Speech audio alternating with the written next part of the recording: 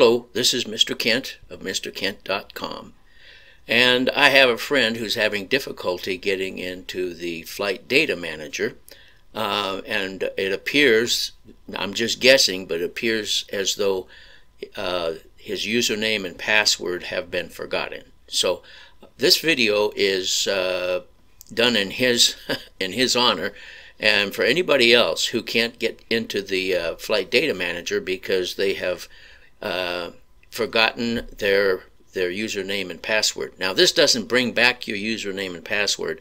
This just deletes the old records and allows you to start up a new one and uh, write down your password and username on a piece of paper or put it into a database. So, so uh, let's go ahead and get started. First of all, you need to go to Free Flight Pro and uh, open it up.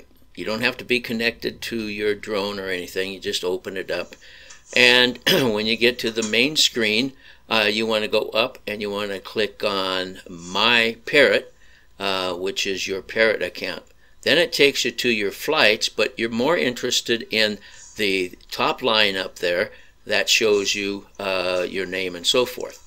And then uh, you'll get to the profile page, and up in the upper right hand corner, you'll see three little dots, and you'll want to click on the three little dots. When you do that, you'll get into an account setting, uh, account page, and you'll, as you uh, scroll across, you'll get down to the um, the uh, page. Finally, where you get to, you keep going to the end, and at the very last one is where it says you can delete your account. So you click on delete your account. I know you're going to lose all your flight data, but at least you'll be able to get into uh, the flight data manager again and continue on trying to do what you want to do.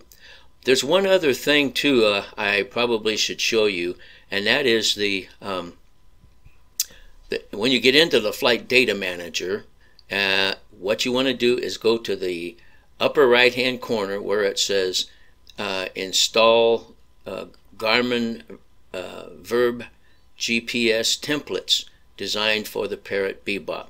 You click on that and it'll take you on to where you can you can choose uh, feet or meters or do like I did and just take them all and uh, install them on your computer.